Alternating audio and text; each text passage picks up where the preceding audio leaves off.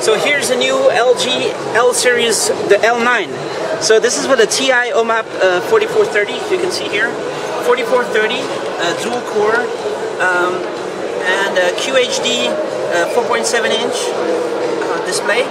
So check out how it looks. So it's a nice design here. We can even open up the back.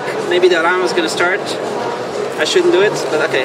But here it opens with the battery in, in, in the back and the SD card, uh, the SIM card goes in here. Here's headphones, and here's uh, volume up and down. That's basically it. You have a 300 euro phone releasing next month with the Android version 4.0, I guess. 4.1 coming uh, maybe later. It's maybe here. 4.0, 4.1 maybe later. There might be 4.1. So I shouldn't open it. Uh, I want to open it. But let's let's check. Here's the black one. You can compare. Uh, you can come closer. White back, black back, white front, black front. And this is how it looks.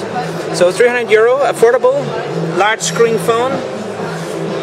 I guess that's $300 in the USA. It might be different price, but I guess that could, could be it. This is L series, and there's a smaller L series that are already on the market over there. Uh, we have. This is not Android. This is uh, something else. And here's uh, 4X HD. 4X HD, which is uh, which CPU? What is CPU in this one? Tegra 3. Yeah. And uh, here is uh, L7, which is uh, using a Qualcomm Cortex A5, I think. Yeah, Cortex A5 from Qualcomm here. L7, L5, but this that was a new Yeah. L9. The new highlights, first time you show it here at IFA 2012.